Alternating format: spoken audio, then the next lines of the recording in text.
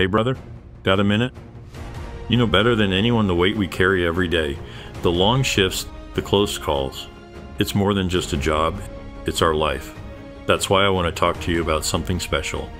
The Phoenix Project has put together the second annual symposium on Friday, April 26, 2024. This isn't just another conference, it's a day where we get to step back and focus on what keeps us going. Experts, community leaders, and folks like us will share stories, solutions, and support. It's about taking care of our own, and it's happening right here in our backyard. I know we've been there for each other and always try to have each other's backs. This symposium, it's a chance for all of us to learn a bit more about supporting each other, not just out there, but in dealing with everything we bring home. And here's a reason you shouldn't miss it. Travis Howze, the guy's been in our boots and he's going to share his rise from the ashes story. Imagine getting insights from someone who's seen it from all sides military, police, and fire. He's doing two talks, and I wouldn't miss it for the world. Plus, it's not just about us.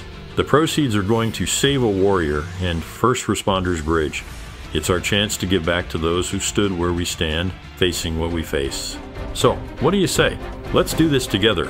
Spots are filling up fast, and I can't think of anyone I'd rather have by my side. Check out the phoenixproject.life for the details. April 26th. Mark it down. It's time to look out for each other in a whole new way. See you there.